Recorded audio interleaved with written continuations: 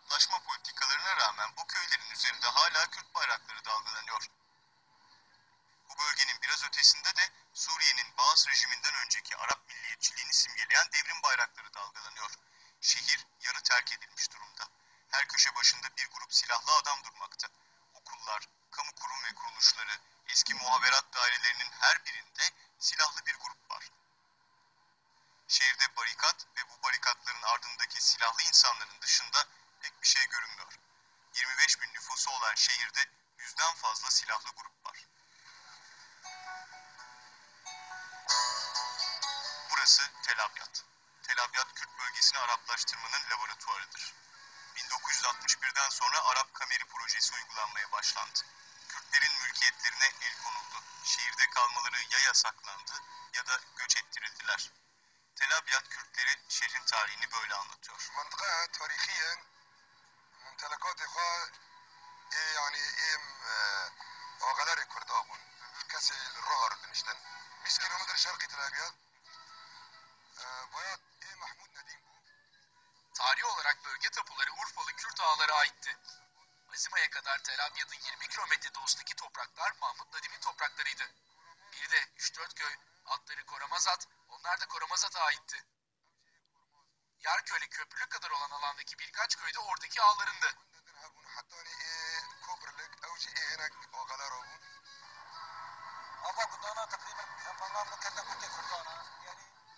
İşte bu köyler. Biz şimdi Kürt köylerine giriş yaptık. İşte bu köyler Telfindir ve Vaste. İşte bu Vaste. İşte önümüzdeki bu köy bir Atman. Bu da Filistin. Tabi yine de Kürtler var buralarda. Yani bu isimlerin çoğu yeni. Birazdan bir köye gireceğiz باب ديوغا أنا كوبريا كراسوانا Birazdan bir köy göreceğiz. Oraya Milli Gelte denir. Orası Zoncuk aşiretinin bir köyü. Daha sonrasında Tenuze var ve Seriyan köyü. Sonra da Gorhusan köyü var. أنا كنت كردستان Birazdan benzin istasyonunu geçince Kürdistan bayrakları göreceğiz. أما هذا كردستان أبي منا والشرقي عند نستال ويضة نستال تقريبا حدود İstanbul'da Tel Avyad'ın idari sınırları olan Listerköl'ün hemen ötesinde Raselayn'dan Tel Avyad'ın güneyine kadar Milan aşiretine ait. Ee,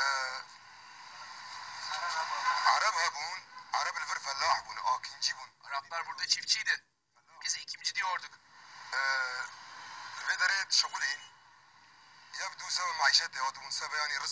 Geçimlerini sağlayabilmek için buraya gelmişlerdi. Suriye devlete Suriye çarpı bu. Suriye devleti 1941'de kurulduktan sonra 1961 ve 62 yıllarında artık devlet kurulduğunda ve Baaslar yönetimi ele geçirdiğinde bazı projeleri hayata geçirdi.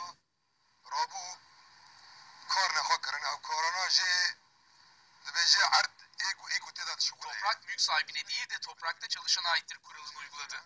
Gelen tüm Ekimci Araplar ondan sonra mülk sahibi oldular. Kısmekci yazda kunci li Ali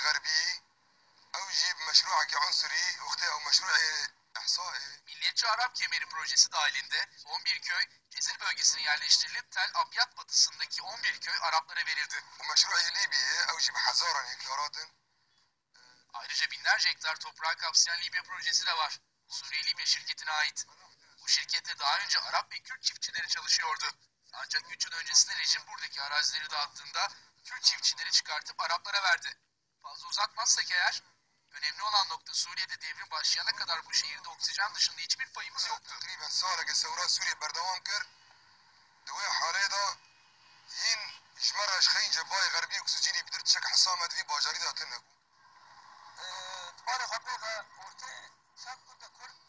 Dikkat ediniz. Her birkaç Kürt köyünün arasında bir Arap köyü var. Tabii bunu 1963'te bazı hükümeti yaptı. Mesela bu köye Sukeriye ismi vermişler. Davut aşiretini yerleştirdiler buraya. Bak bu yeşil, kırmızı ve sarı. Bundan sonra bu yeşil, kırmızı ve sarı renkleri sık sık görürsün. Bu köyün ismi Kendar. Arapçasını Beyir Mermer'e yaptılar. Bu da Kürdistan bayrağıdır dalgalanıyor. Sınır yönüne biraz giderseniz orası sınır kapısı haline gelmiş. Konya'ya Tavr ismini vermişler. Kürtlerin topraklarıydı. Mülkiyetini Kürtlerden alıp Arap topluluklara verdiler. Ardın Kurdar zaskırtın gündi Arap vedere çağdın. Tavra ava gündi hane. Şu köy Tarva. Önümüzde Huriye köyü ve 8 Mart köyleri var. Bu köylerin isimleri yeni. 8 Mart 1963'te Bağız Partisi'nin devrimiydi. Şurası, şurası, şurası, şurası, şurası, şurası,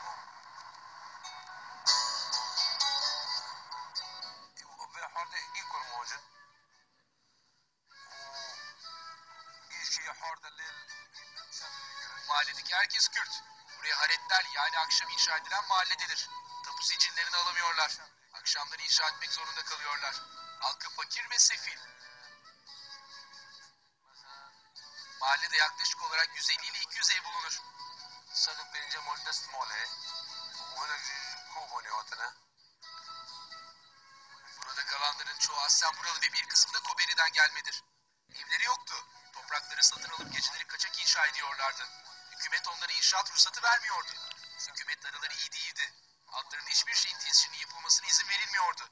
Sadece muhaberatın izniyle olurdu. Yoksa inşaat yasaktı. Hükümet bilindiği gibi evlerimizin adımıza kaydedilmesine izin vermiyordu. Biz bu mahalleyi akşam inşa ettiğimiz için Haretlel yani akşam mahallesi deniyor. Ancak hükümet ev kurmamıza izin vermiyordu. Araziler başta olmak üzere gayrimenkullerin hükümet ve devlet dairelerinde tescili yapılamıyordu. Özellikle 2010'da 49. yasa dediğimiz yeni bir yasa çıktı. 49. yasaya göre eğer Kürtseniz kendi adınıza hiçbir şeyin tescilini yapamazsınız. Bunu sadece muhaberatın izniyle yapabilirsiniz. Tabi bilindiği gibi Suriye'de 14-16 civarı muharebat bölümü var ki tüm bunları gezip izin almanız gerekirdi. Al bakayım. Yine de kendi gözlerimle gördüm. Tel Abyad'da askeri muharebat şubesinden çıkan bir gizli belgede Şam'dan onlara gelen bir direktif vardı ki İdim şehirdeki Araplarla röportaj yapıp neden toprakları Kürtlere kiralık olarak verdiklerini araştırın diyordu. Ser milleti Arap Ser milleti Arap Khir ardi acar dedi milleti Kürt Dediğin hem zor biz daha çocukken o zaman Tel Abyad'da sadece bin konut bulunurdu. O dönem 363 Arap Tel Abyad'da oturmak için devletten maaş alıyordu. Arapların buraya yerleşmesini ve Kürtleri sıkıştırıp şehirden çıkarmasını amaçlıyorlardı. O dönem hükümet bunu yapıyordu. Tanıdığımız Kürt bir bekçi vardı. Bir parkta baraka kurmuş, ailesiyle çocukları orada yaşıyordu. Burada Bağız Partisi 50 civarında toplantı yaptı. İki ay, iki ay boyunca toplantılar yaptıktan sonra onu işten attılar. 50 toplantı yapıp onu attılar en son Bağız Partisi Şube Başkanı ile bir araya geldim. Ona bir bakanlık değildi. Sefil, yaşlı bekçi bir insan kalıyordu orada dedim. Sonunda onu işten atıp Arap birini yerine getirdiler. Halil Bahsi diye birini yerine getirdiler.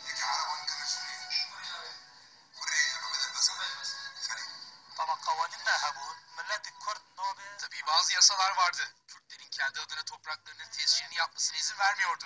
Sadece muhabirat izin verirse olurdu buradaki muhabirin izin verdiği takdirde de şampiyonu onaylamıyordu. Size birçok belge gösterebilirim. Çoğu Kürt. Burada evini ve topraklarını Arapların adına kaydettirdi. Sırf bir banyo veya bir oda yaptırabilmek için Arapların adına ruhsat aldılar. Bu yasalar Tel çok iyi biliniyor.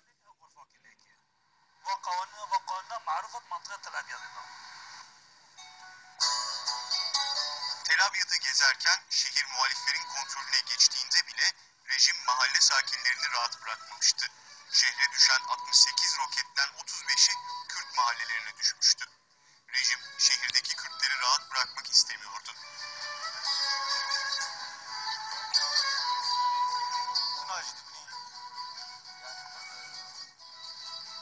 Gördüğünüz gibi kendi mahallelerindeki mülkiyetlerinde tescil yapamadıkları yetmiyormuş gibi bir de mahalle bombardımanı hedef oldu.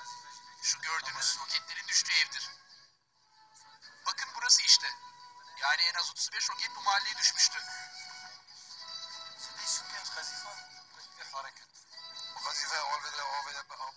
Roket buraya ayaklarımın hemen altına düşmüştü. Bakın burası işte roketin açtığı çukurdur. Yaklaşık olarak 35 roket Kürt mahallelerine düşmüştü. Mahalle sakinlerinin çoğu yerinden edildi.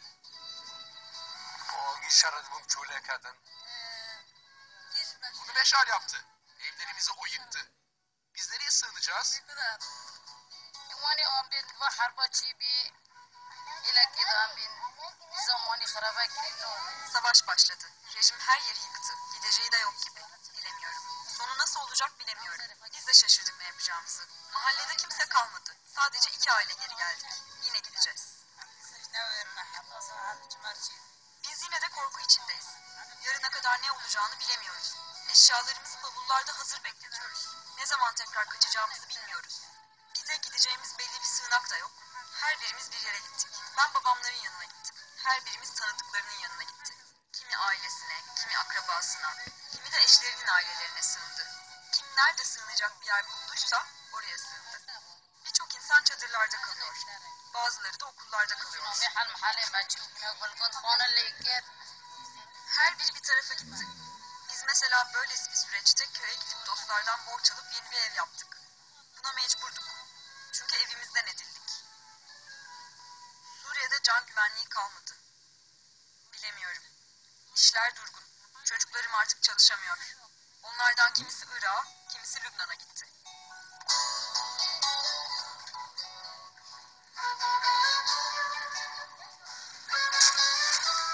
Tel kanlı çatışmalardan sonra muhaliflerin kontrolüne geçmişti. Buradaki Araplar, Kürtler ve Türkmenler inşası için bir fırsat yakaladı. Herkesin sırtında büyük bir yük var. Tel Abyad'ı yeniden inşa edecek taşların yerine oturup oturmayacağı, herkesin bu yeni düzende yer alıp almayacağı konusunda halkla sohbet ediyorduk.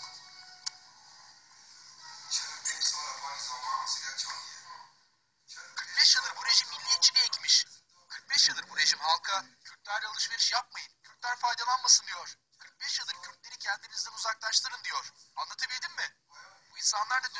rejim yandaşıydı. Daha 24 saat öncesine kadar rejim yandaşıydı. Rejim gidince de kendisini devrimciye dönüştürdü. Kendisini devrimin bir parçası yaptı. Bu insanların zihniyetinin değişmesi için zaman gerekir. Şu an Arap Birliği için bir Kürdün mali müdür olması kabul edilmez bir şeydir. Bir Arap'ın bunu sindirmesi çok zor. Kürt birinin Ziraat Bankası'nın müdür olacağını duyarsa oturup ağlar. Bu Kürtlerin hakkıdır ve bu olmalıdır. Tabii olacağını biliyorum. Ancak bunun için zamana ihtiyacımız var. Bunları milliyetçi bir zihniyete göre yetiştirdiler. İlkokulu bitirenler Ziraat Bankası'nın müdür oldu. Bizde ise üniversite mezunları var ama böyle bir hakları olmadı.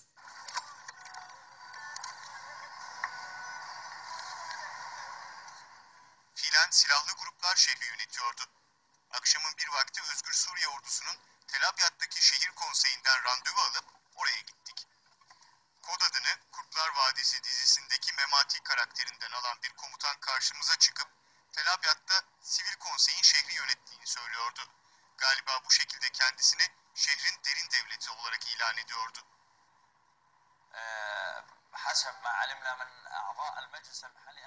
Şehir yerel konseyinden anladığımız kadarıyla Araplar, Türkler, Ermeniler, Suriler dahil herkesin konsere temsil ediliyor. İnşallah meclis Suriye halkının tüm gruplarını içine alacaktır.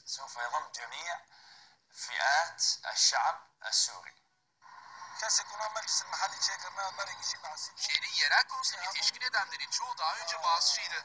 Aralarında Boğaz Partisi'nden aday olanlar da vardı. Ancak seçimleri kazanamayınca muhalif oldular. Yani daha önce bunlar Boğazçı ve Şemiya'ydı. Yerel meclisi kuranların yanına gittik. Onlara kurduğunuz yerel meclisler daha çok aile meclislerine benziyor dedik. Meclis de Labyat bileşenlerini temsil etmiyor dedik. Bölge halkının bileşenlerinin hepsi bu mecliste yer almalı ve halkın acılarına son vermeliler dedik.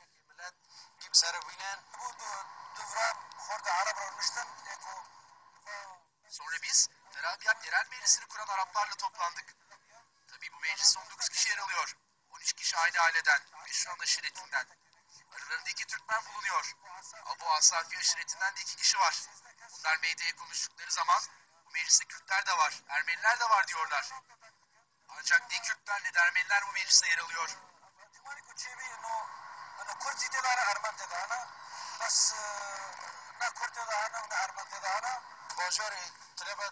Euh, Tel Abyad şehri şu an askeri konsey tarafından yönetiliyor.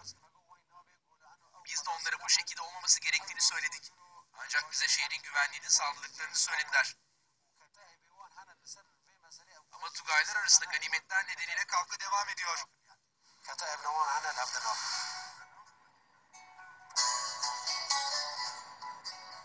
Tel Abyad'da Kürtlerin güvenliklerinden endişe ettiklerini gördük.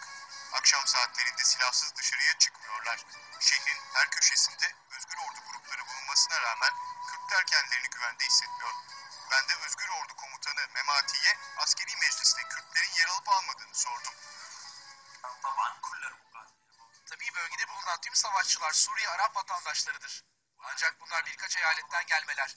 Aramızda nizami ordudan firar eden Deralı, Humuslu, Şamlı ve her yerden askerler var.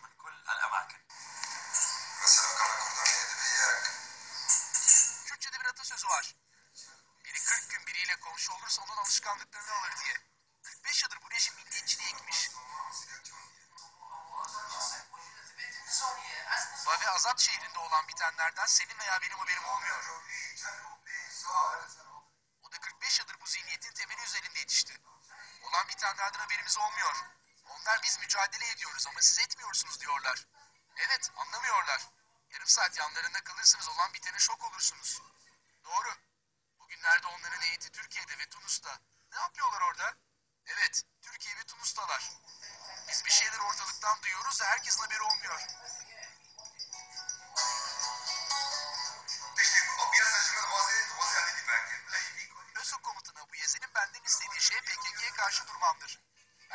Bir şey hayatta yapmam. Tüm şehir onun olsa da ben PKK'ye karşı durmam. Kim böyle bir şey yapar? Hiç kimse bunu asla kabul etmez. İlk diyalog toplantısı bizim katılımımızda olmuştu hatırlarsınız. Daha ilk toplantımızda bunu bizden istediler. Ben konuyu tamamen kapatmalarını istedim. Konuşan bendim. Onlardan konuyu tamamen kapatmalarını istedim. Ve onlara bu konunun onlardan daha büyük olduğunu söyledim. Kürtlerin haklarından bahsetti. Ben Kürtlerin hakkını siz veremezsiniz dedim. Görevimizin bu şehirde toplumsal barışı sağlamak şehrimize hizmet etmek olduğunu söyledim. Kürtlerin hakları konusundaysa Kürt Ulusal Konseyi, Yüksek Kürt Konseyi ve Suriye Ulusal Konseyi var. Bunlar kendi aralarında bir anlaşmaya varırlar. Masada Suriye'deki halkların hakları belirlenecektir dedim. Ben cevap vermedim mi? Böyle cevap vermedim mi?